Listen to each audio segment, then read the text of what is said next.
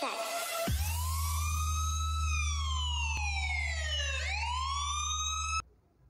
वालेकुम आई am advocate Jamat Aftar and you are watching Bharat law आज की हमारी इस वीडियो में हम डिस्कस करने वाले हैं पोस्टमार्टम रिपोर्ट को कि पोस्टमार्टम होता क्या है, जो हमारी बेसिक स्कीम है स्टडी की, जिस जैसे कि आप पहले ही जानते हैं, क्या, क्यों, कब, कौन और कैसे तो इन तमाम चीज़ों पे हम डिस्कस करेंगे पोस्टमार्टम रिपोर्ट को कि वो होती क्या है, कैसे एनालाइज किया जाता है, क्यों की जाती है, और जो है फाइनली हम देखेंगे कि तो उसको रीड कैसे करना है।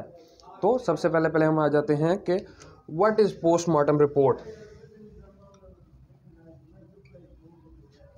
first question जो हमारे माइंड में आता है कि पोस्टमार्टम रिपोर्ट है क्या? तो जैसे कि नाम से ही वाजे है पोस्ट एंड मॉर्टम पोस्ट होता है after and mortem means death तो जो डेथ के बाद जो रिपोर्ट जो है वो डॉक्टर ने एग्जामिन करके देनी है बॉडी की, वो होती है जी पोस्टमार्टम रिपोर्ट उसके बाद हमारे पास क्वेश्चन आता है वाई कि पोस्टमार्टम रिपोर्ट जो है वो क्यों बनाई जाती है, किस लिए बनाई जाती है? तो इसके आंसर में जो बेसिक दो चीज़ें हैं, वो ये हैं कि पहली तो आइडेंटिफिकेशन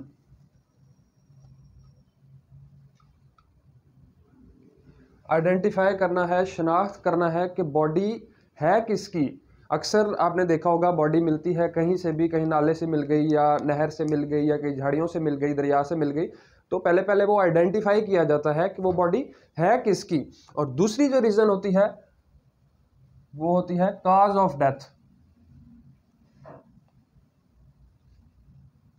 कि डॉक्टर ने जो एक्सपर्ट्स होते हैं, उन्होंने डिटरमाइन करना है कि इसकी डेथ क्यों हुई है, यानी कि इसकी डेथ की वजह क्या थी। वो मालूम करने के लिए पोस्टमार्टम जो है, वो किया जाता है और इसकी रिपोर्ट तैयार की जाती है। अगला सवाल व्हेन कब पोस्टमार्टम कब किया जाता है? तो बेसिकली तीन ऐसी कंडीशंस हैं जिसमें पोस्टमार्टम किया जाता है। होमिसाइडल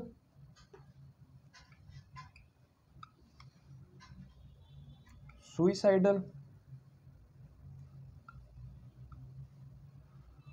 और फाइनली एक्सीडेंटल अगर डेथ इन तीन सिचुएशंस में होती है, किसी ने किसी को कत्ल कर दिया है, एक इंसान ने दूसरे इंसान की जान ले ली है, किसी भी तरह से हो सकता है वो, आया उसको पॉइजन दे दिया, को जख्मी कर दिया, या फिर को फायर आर्म इंजरी हो सकती है, जिसकी वजह से डेथ हुई तो पहला होमिसाइडल अगर किसी की डेथ हुई है, किसी ने सुसाइड किया है, या किसी की एक्सीडेंटल अगर डेथ हुई है तो इस केसेस में पोस्टमार्टम करवाना लाजमी होता है पोस्टमार्टम नॉर्मली किया जाता है, ताकि पता चलाया जा सके काज ऑफ़ डेथ कि आया उसकी डेथ नेचुरल थी या अननेचुरल थी, इन काजेज़ की वजह से थी। तो कब किया जाता है इसमें एक और बात भी कि नॉर्मली डिफरेंट डिस्ट्रिक्ट्स में, का तो मुझे नहीं पता बेसिकली अब लाहौर की अगर हम बात करें तो पहले होता था कि सनलाइट में पोस्टमार्टम किया जाता था, लेकिन अब ऐसा नहीं है। अब मॉर्चरी में twenty four seven facility available है पोस्टमार्टम की। कि लाहौर में 24 घंटे सात दिन पोस्टमार्टम किया जाता है। और पोस्टमार्टम जब करना है, डॉक्टर के पास जब बॉडी भेजी जाती है तो उसकी रिक्वायरमेंट होती है कुछ पुलिस पेपर्स वो उसको प्रोवाइड किए जाएँगे, तभी उसने पोस्टमार्टम स्टार्ट करना है। तो water police papers F I R अगर कोई उसमें है फार्म मजरूबी तो वो उसके साथ मर्ग रिपोर्ट।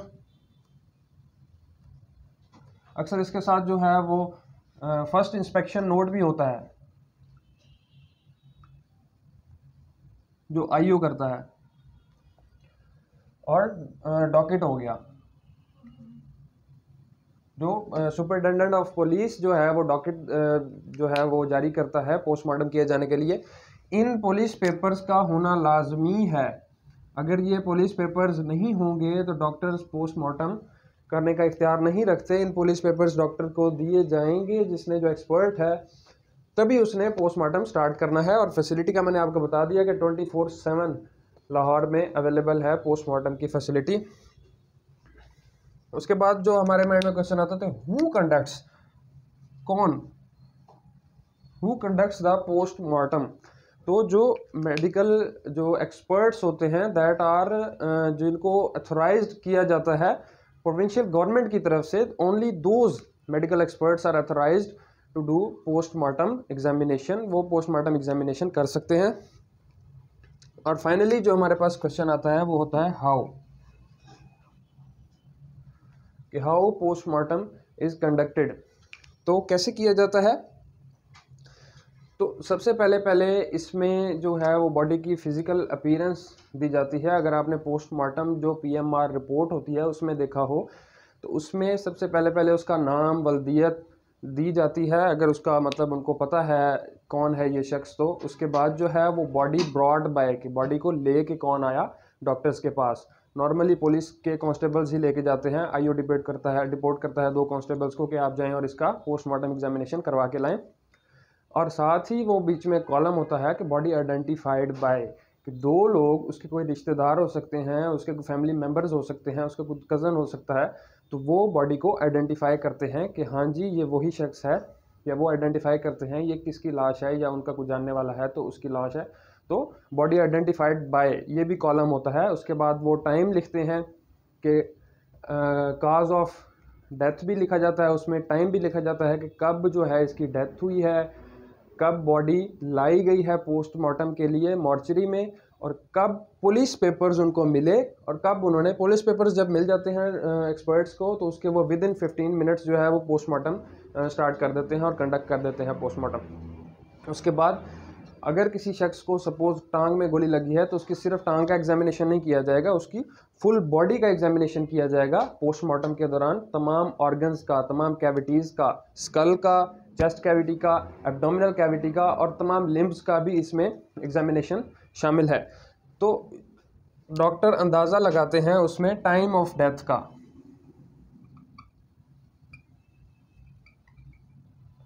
ये हमारे माइंड में क्वेश्चन आता है कि टाइम ऑफ़ डेथ का वो कैसे पता चला लेते हैं कि भाई कब उसकी डेथ हुई। इसके दो बेसिक तरीके हैं। एक तो बॉडी के टेम्परेचर से।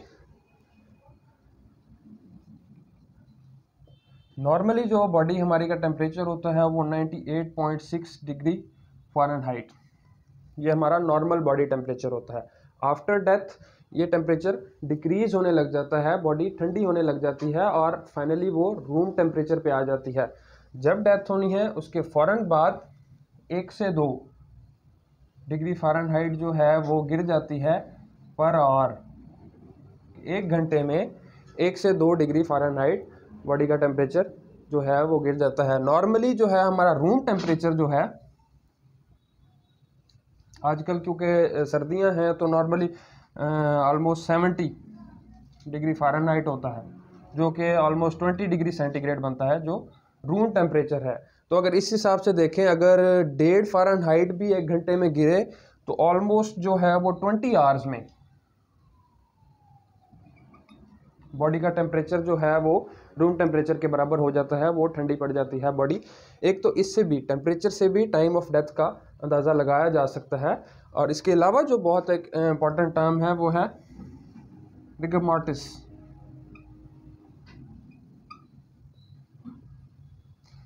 बेसिकली रिगर मॉर्टिस है क्या? कि जब भी किसी की डेथ होती है तो उसके दो घंटे बाद ऑलमोस्ट दो घंटे बाद उसकी बॉडी के जो मसल्स होते हैं, वो स्टिफ होना शुरू हो जाते हैं, वो अकड़ना शुरू हो जाते हैं। कहते हैं ना कि डेथ हो गई, उसके बाद जिसम अकड़ना शुरू हो गया तो वो दरअसल रिगर मार्टिस होता है। It starts two hours after death दो घंटे के बाद ये शुरू हो जाता है रिगर मार्टिस डेवलप होना, और डेथ होने के ऑलमोस्ट ट्वेल्व बारह घंटे के बाद ये फुली डेवलप हो जाता है बॉडी फुली अकड़ जाती है। देखें ना, दो घंटे के बाद ये शुरू हो गया। पहले पहले जो सॉफ्ट टिश्यूज़ होते हैं, वो स्टिफ होना शुरू हो जाते हैं। जैसे कि हमारे नेक के मसल्स हो गए चीक्स हो गए फेस के मसल्स हो गए जॉज हो गए, हमारे जबड़े। पहले पहले वो स्टिफ होना शुरू हो जाएँगे, उसके बाद ट्वेल्व आवर्स जब एक डेथ को गुजर जाते हैं, उसके बाद फुल बॉडी फुल स्टिफ हो जाती है, अकड़ जाती है। इसके बाद जो है वो स्लोली अगले ट्वेल्व आवर्स तक ये नॉर्मली जो है, इधर फुली स्टिफ होगी। अगले बारह घंटे, ये बारह घंटे के बाद जो है वो रिगर मॉर्टिस आहिस्ता आहिस्ता ख़त्म होना शुरू हो जाता है और छत्तीस घंटे के बाद जो है वो बॉडी दोबारा से फ्लैसिड हो जाएगी, यानी कि नॉर्मल अपनी शेप में आ जाएगी। तो ये होता है राइगर मॉर्टिस इससे अंदाज़ा लगाया जा सकता है काज ऑफ़ जो है वो टाइम ऑफ़ डेथ का, कि मौत कब वाक़ हुई थी? इसके बाद हम आ जाते हैं जी,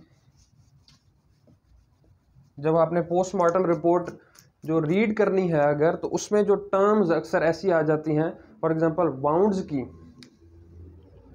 तो उसको एक्सप्लेन करने के लिए आपने अक्सर देखा होगा एब्रेयन ब्रूज एब्रेयन क्या होती है? सिंपल सी आप कह लें, खराश। किसी को अगर लग जाती है कहीं पे भी गिरने की वजह से या ब्रूज होती है, रगड़, कोई बाइक से गिर जाता है साइकिल से गिर जाता है तो जो रगड़ लगती है, उसको ब्रूज कहा जाता है। इसी तरह आगे अगर हम आ जाते हैं कॉन्ट्यूजन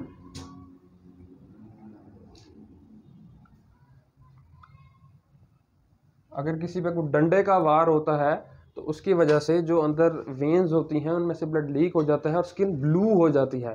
नील पड़ जाता है। उसको इंग्लिश में कहते हैं कॉन्टूजियन। उसके बाद लेसी रेटेड वाउंड। लेसिडेटेड का जो आम है, वो मतलब वो अगर उर्दू में देखा जाए तो फटा हुआ, यानी गोश्त फट जाता है। अक्सर जब गोली लगती है किसी को तो वहाँ पे भी लेसिडेटेड वाउंड होता है, गोश्त फट जाता है। गोश्त को चीर कर गोली जो है, वो आर पार हो जाती है, निकल जाती है। गोश्त का फटना लेसिडेट और उसके बाद है इंसाइज्ड ये कोई भी नोकदार चीज़, यानी कि छुरी के वार से कुलाड़ी के वार से, कोई भी नोकदार चीज़ से अगर किसी पर वार किया गया है तो ये कट, जो कट लगता है, उसको हम कहते हैं इन साइज़ वाउंड और इसके बाद स्टैब वाउंड अगर किसी को खंजर घोप देता है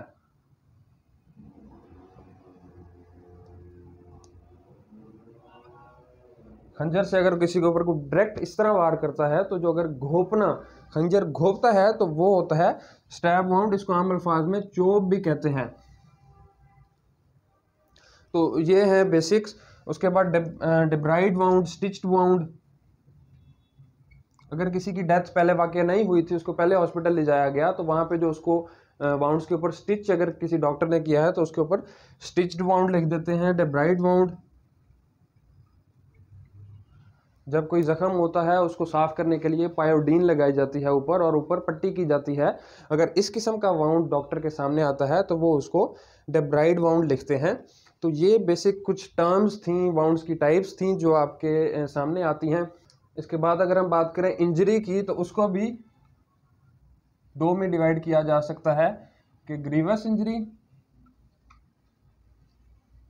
और सिंपल इंजरी ग्रीवस होता है शदीद। शदीद किस्म का अगर किसी को कोई ज़ख्म आया है तो वो ग्रीवस इंजरी हो जाएगी और दूसरी सिंपल इंजरी हो जाएगी। तो जब किसी को अगर फायर आर्म वाउंड्स हैं, फायर आर्म की वजह से अगर किसी की डेथ हुई है तो हम वहाँ पे नॉर्मली पढ़ते हैं एंट्री वाउंड, एग्जिट वाउंड।